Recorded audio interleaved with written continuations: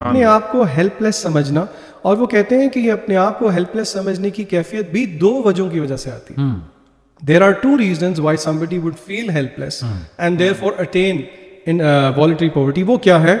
एक बंदे का अपने रब के बारे में उसकी मार्फत होना रब के बारे में इल्म होना नंबर वन नंबर टू बंदे को अपने बारे में इल्म होना। क्या मतलब? अपने बारे में इल्म होना कि उसकी औकात क्या है? और रब के बारे में इल्म होना कि उसकी मार्फत क्या है। देयर फॉर यूनस सलाम की क्या दुआ थी? ला इलाहा इल्ला अंता सुब्हानक इन्नी कुंतु यानी कि he acknowledged the status of अल्लाह और उन्होंने खुद क्या किया? इन्नी कुंतु डिटेल्स में नहीं गए। और इब्ने कय्यम कहते हैं this is the essence of strength and happiness और यही वजह इस आयत के बाद अल्लाह ताला ने कहा कदालिका नुंजिल मुमिनीन। ये आयत जो है ये तमाम अहले ईमान के लिए निजात का ज़रिया है। क्या बात तो क्या मैं बात? समझता हूँ कि ये एब्स्ट्रैक्ट नहीं है बात it boils down to the fact जितना अल्लाह ताला की मार्फत होगी उतनी ये चीज़ें अन एब्स्ट्रैक्ट और टेंजिबल है ज़बरदस्त ज़बरदस्त। मुझे कुरान की आयत याद आ गई। या यूल इंसान मा गर्रा का भी रबी करीम। ए इंसान किस चीज़ ने तुझे गाफिल कर दिया है अपने रब के बारे में जो बहुत जेनरस है बहुत करीम है? आज हम देखते हैं लोगों की बड़ी शिकायत हैं, अल्लाह माफ़ करे, पैसिव शिकायत भी होती हैं। देखें, एक होता है एक्टिव शिकायत, कोई बंदा मुँह से कह दे जी कि नहीं जी, कोई दुआएँ कबूल नहीं होती। कई लोग आते हैं हमारे पास काउंसलिंग के लिए, मैंने अल्लाह माफ़ करे कुछ को ऐसी ही बातें करते देखा कि यार हमने तो बड़ी एफर्ट्स की, अल्लाह ताली हम पे रहम नहीं कर रहा, वगैरह वगैरह।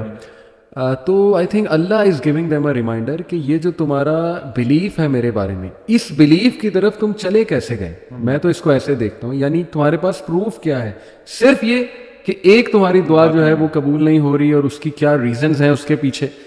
तो यंगस्टर्स को मैं चाहता हूँ इस तरह तवज्जो दिलाएँ कि ये जो आयत है ना कि किस चीज़ ने तुम्हें गाफिल किया? वट डू यू थिंक वो क्या फैक्टर्स हैं जो अल्लाह से गाफिल किए हुए हैं हमें? कि हम लोगों को तो अपने दुखड़े सुनाने पे आए तो एक एक घंटा सुनाते।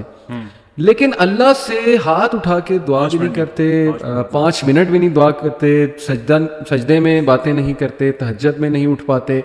वट आर दोज फैक्टर्स इस पे मैं बात करना अली भाई इस इसका जवाब देने से पहले मैं इब्ने कईम की बहुत मज़े मज़े की बातें भी हैं हम्म। लेकिन उनके दो कोटेशन ऐसे हैं जो कि बड़े हार्ड हिटिंग हैं इस चीज़ में। तो मैं समझता हूँ कि इसके जवाब से पहले हम जरा उनको सुनते हैं और फिर इंशाल्लाह जवाब समझने की कोशिश करते हैं। इब्न कईम रही ने जवाब अल काफ़ी में कहा कि दुनिया के अंदर बहुत सारी चीज़ there are many things in the world which if a person loses उसकी रिप्लेसमेंट मिल जाएगी। ठीक है। लेकिन वो कहते हैं कि देर अगर कोई अल्लाह ताला की मार्फत खो दे if somebody was to lose अल्लाह ताला द मारिफा ऑफ़ अल्लाह तो फिर वो उसको कभी भी नहीं मिल सकती। यानी कि थोड़ा एक्सप्लेन हम्म। मार्फत का मतलब अल्लाह ताला के बारे में नॉलेज हम्म। क्या मतलब? फॉर एग्जांपल मैं आपको एक इसका हिंट देता हूँ। नॉलेज का क्या मतलब है?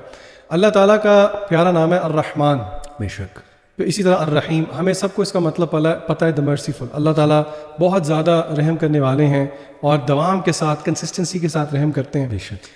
इसका मेरी और आपकी लाइफ पे इम्पैक्ट क्या होना चाहिए? हुँ, हुँ, हुँ, सबसे इम्पोर्टेंट क्वेश्चन और उसका स्कॉलर जवाब ये देते हैं कि अगर अल्लाह ताला की ज़ात मर्सी वाली है रहमत वाली है तो अल्लाह ताला ये चाहते हैं कि बंदों से भी मर्सी निकले।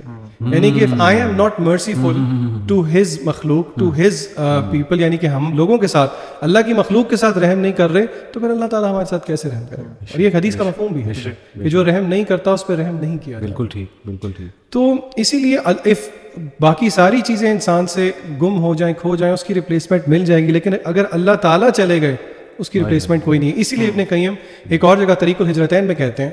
कहते हैं कि ताजुब होता है। I am amazed at people जो कि they are ageing in their life ज़माना गुजरता जा रहा है उम्र भी बढ़ती जा रही है लेकिन दिल पे पर्दे पड़ते जा रहे हैं। hmm. इब्ने कईम कहते हैं कि अल्लाह ताला की मार्फत तो दूर की बात है उसकी खुशबू तक भी तक भी नहीं वो पहुँच सके। जैसे दुनिया में खाली हाथ आए थे वैसे ही खाली हाथ चले गए और दुनिया में वो कहते हैं जो सबसे अच्छी चीज़ थी उसको लिए बगैर ही वो चले गए।